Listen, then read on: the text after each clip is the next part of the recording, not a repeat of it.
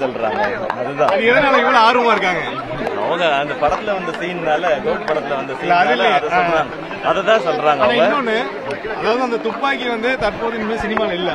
ஆனா அந்த துப்பாக்கி சினிமா காரணம் காரணம் அவர் சில விஷயங்கள் சொன்னாரு. ஆனா அதே மாதிரி நீங்க அந்த இடத்துக்கு போக வாய்ப்பு இருக்கா? இல்ல நான் அதுக்குள்ள எதுவுமே பார்க்கல. நான் வந்து அதுக்குள்ள சினிமாவில் நடந்த ஒரு அழகான நிகழ்வா பாக்குறேன் ஒரு ஒரு சீனியர் ஆக்டர் அடுத்து அவங்க செட் ஆக்டரோட ஒரு ஸ்கிரீன் ஷேர் பண்ணாங்க. அது அழகா இருந்துச்சு. அதான் மட்டும்தான் நான் பாக்குறேன் அது. இல்ல நான் சினிமால இல்ல நான் சினிமா சினிமால இன்ட்ராக்ஷன் பண்ண வேண்டியதே நிறைய.